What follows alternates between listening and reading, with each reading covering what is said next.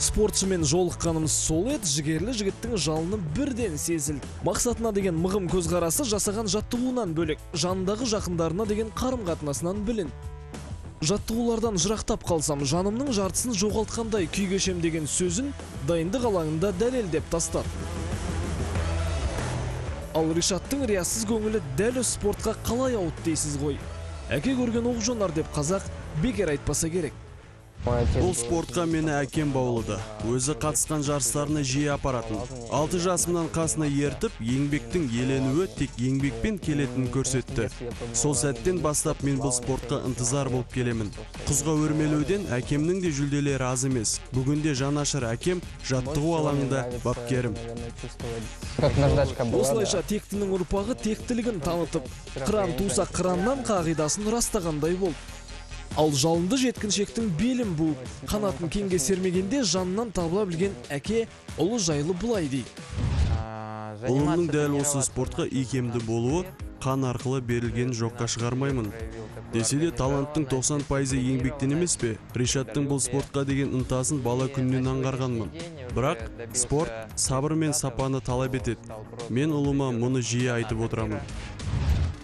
Әкенің ақылы баланы батыл болуға бейімдесе де спортшының өзіне деген сенімі аса маңызды. Бұл тұста ришатты арманы адастырмайды деп сенеміз. Десе де жарыс алды жүрек тебіренісін де жасырмады толқыныс бар әрине. меніңше толқымайтын адам жоқ шығар. бірақ елімнің атынан өнер көрсететінімді елестетсем бар қорқынышым ғайып болады.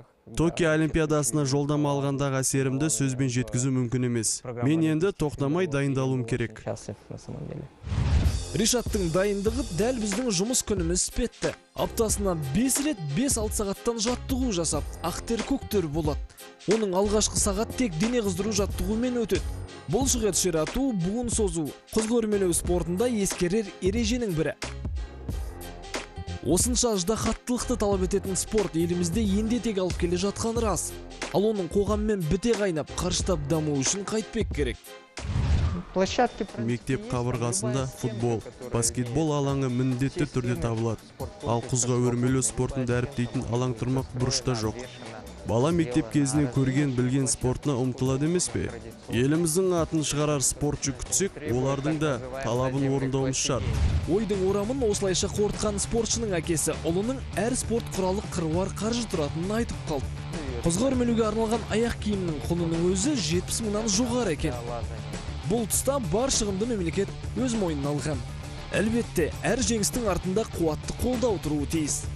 Біз де жанкүйер болудан қалмай ришатқа жеңіс тілейміз.